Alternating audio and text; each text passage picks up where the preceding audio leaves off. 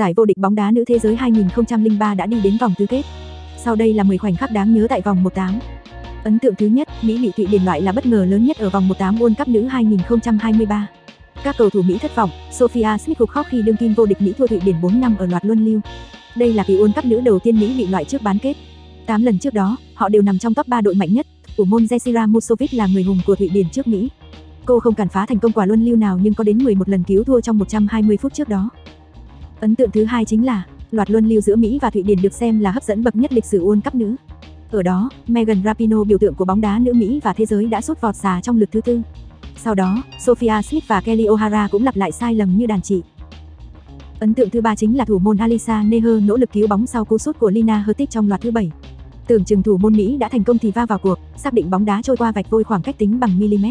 Neher nói rằng đây là nỗi đau sẽ đeo bám cô trong thời gian dài. Còn Lina Hurtig hứa sẽ xăm khoảnh khắc này lên cơ thể nếu Thụy Điển vô địch năm nay.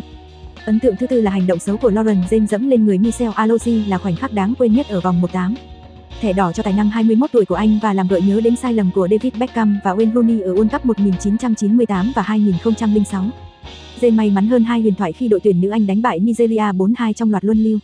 Cô đã gửi lời xin lỗi đến Alozi trên Twitter, nhưng nhiều khả năng vẫn đối mặt với án phạt nặng từ FIFA qua đó chia tay sớm World Cup nữ 2023 người Anh phần nào lấy lại hình ảnh khi Chloe Kelly, áo trắng phải, và Alex Greenwood trái tạm dừng ăn mừng, chạy tới động viên thủ môn Chiamaka Nadoji. Kelly xua tay đề nghị nhân viên quay phim đi chỗ khác, không tiếp tục quay nỗi thất vọng của Nadoji, đã lan truyền rộng rãi trên mạng xã hội.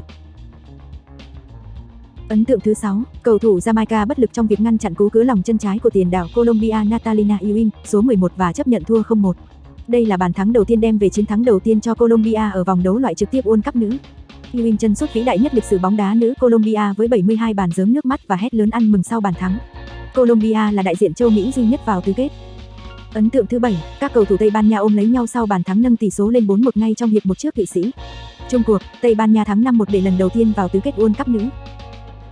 Ấn tượng cuối cùng chính là các cầu thủ Nhật Bản ăn mừng sau khi cầu thủ Na Uy đá phản lưới nhà để mở tỷ số. Những bông hoa cầm trướng thắng chung cuộc 3-1 để trở thành đại diện châu Á duy nhất vào tứ kết.